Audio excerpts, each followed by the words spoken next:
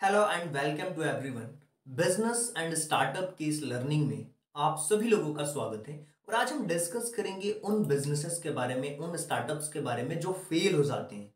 उनसे हम क्या लर्निंग ले सकते हैं, उन सभी चीज़ों के बारे में हम बात करेंगे। देखिए, हर कोई चाहता है कि मेरा जो स्टार्टअप है, मेरा जो बिज़नेस है, वो सक्सेसफुल हो। लेकिन एक फैक्ट्स मैं आपको बताता हूँ इंडिया के अंदर हर दस में से नौ स्टार्टअप्स और बिजनेसेस फेल हो जाते हैं। क्या कारण होते हैं? किन वजह से फेल होते हैं? चलिए उसके बारे में हम जानते हैं। कुछ कॉमन रीजंस जिनकी वजह से स्टार्टअप्स और बिजनेसेस फेल हो जाते हैं। पहली चीज़ फंड की कमी की वजह से कहीं ना कहीं वो फेल होते हैं। दूसरे, वो मार्केट के ट्रेंड्स को नहीं समझ पाते। मार्केट्स में जो कस्टमर्स की डिमांड्स होती है, किस तरीके की चीज़ें उन्हें चाहिए, वो नहीं समझ पाते। उनकी वजह से भी बिजनेसेस फेल होते हैं। इसके अलावा क्या होता है? वो अपने जो कॉम्पिटिटर्स हैं, उसको समझ नहीं पाते। ये कुछ कॉमन रीजंस हैं जिनकी वजह से स्टार्टअप्स फेल होते हैं। इसके अलावा उनके ऊपर प्रेशर होता है। इसकी वजह से भी स्टार्टअप्स और बिजनेसेस में जो इम्प्लीमेंटेशन होनी चाहिए, जो कस्टमर्स पे ध्यान दिया जाना चाहिए, वो उन पे ध्यान नहीं देते हैं, जिसकी वजह से वो फेल हो जाते हैं कभी कभी फंड को मैनेज नहीं कर पाते, उसके मिस मैनेजमेंट की वजह से बिजनेसेस फेल होते हैं। ये कुछ कॉमन इशूज हैं। अब ये तो हमने जाना, ये कॉमन इशूज हैं। हम क्या सीख सकते हैं इन चीज़ों से? अगर कोई बिज़नेस लर्निंग हमें लेनी हो, उसके लिए सबसे बड़ी चीज़ पता है क्या होनी चाहिए? आपको एक बच्चे की तरह सोचना होगा। जिस तरीके से एक बच्चा सीखता है ना, उसी तरीके से आपको जो बिजनेसेस फेल हुए उनको एनालिसिस करिए। ये किस वजह से फेल हुए? क्या इनकी लोकेशन सही नहीं थी? क्या इनके पास फंड की कमी थी? क्या ये मार्केट की ट्रेंड को नहीं समझ पाए? क्या मार्केट जिस तरीके से बदल रहा है, उस तरीके से ये बदल नहीं पा रहे? क्या ये टेक्नोलॉजी को इम्प्लीमेंट नहीं कर पा रहे? इन सारे कॉमन फैक्टर्स को देखिए। और फिर आप उनसे क्या सीख सकते हैं, उनके बारे में हम बात करते हैं।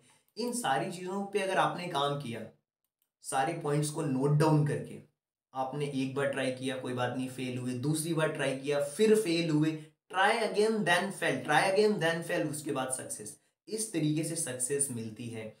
और जो दस में से एक स्टार्टअप सक्सेसफुल होता है, उसका डंका पूरी दुनिया में बसता है, ये आपको भी पता है। तो वो क्या ऐसा करते हैं?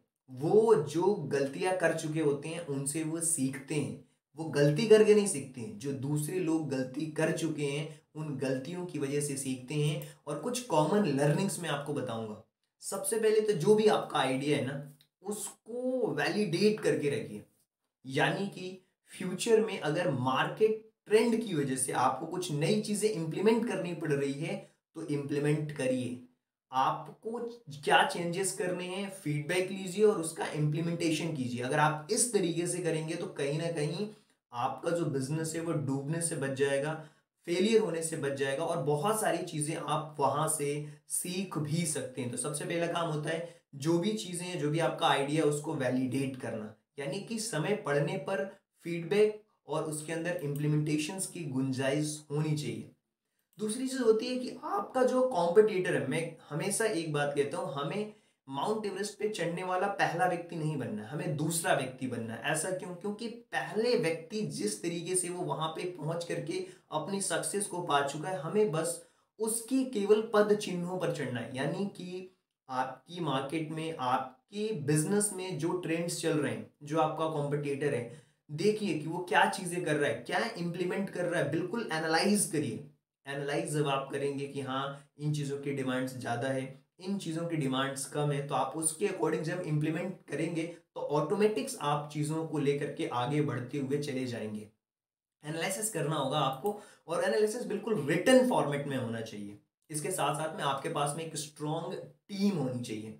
बहुत बार क्या होता है फंड भी होता है, पैसा भी होता है आइडिया भी होता है टीम क्या करती है? आपके यहाँ पे सीखती है और दूसरे के यहाँ जाकर के वो इम्प्लीमेंट करती है। यानी क्या होता है? टीम के साथ में आपका एक प्रॉपर जो कनेक्शन है, वो नहीं हो पाता। आपकी ऑर्गेनाइजेशन का कनेक्शन नहीं हो पाता। आपके स्टार्टअप बिजनेसेस का उस टीम के साथ कनेक्ट नहीं हो पाता। इसका मतलब ये होता है कि आपके जो विजन है, आपका जो मिशन है, आपकी जो वैल्यूज़ है, वो कहीं ना कहीं टीम मेंबर्स के अंदर नहीं आ पा रही है।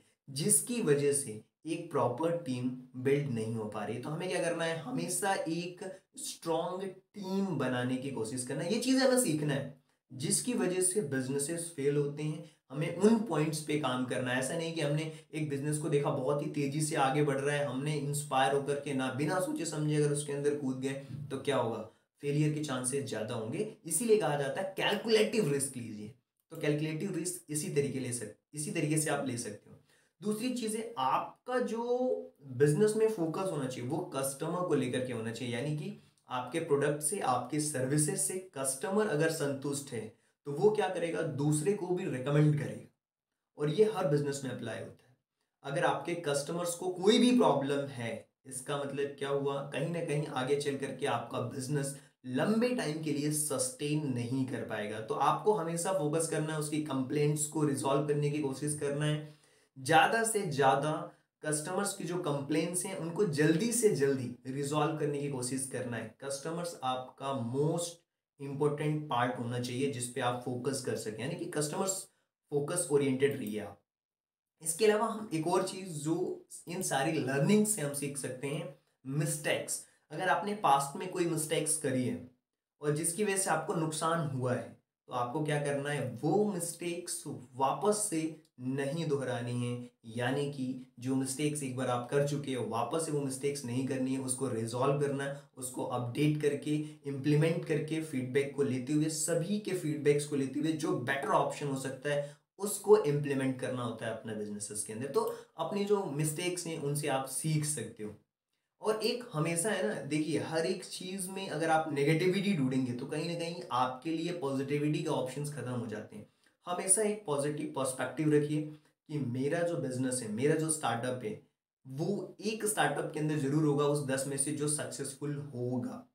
और बहुत बार ऐसा होता है कि वेंचर कैपिटलिस्ट जो होते हैं, बहुत पैसे लगाते हैं, वो उस, उसके अलावा उनमें भी जो सक्सेस रेट है, वो मात्र दस में से सात ऐसे बिजनेसेस हैं, वो फेल हो जाते हैं और तीन ही सक्सेसफुल हो जाते हैं। ऐसा होने के बावजूद भी। कहीं ना कहीं उनके अंदर जो कमियाँ होती हैं, वो क्या होता है, वो पॉजिटिव पर्सपेक्टिव को नहीं देख पाते। कस्टमर्स के अकॉर्डिंग चीज़ों को नहीं इंप्लीमेंट कर पाते, जिसकी वजह से वो फेल होती हैं।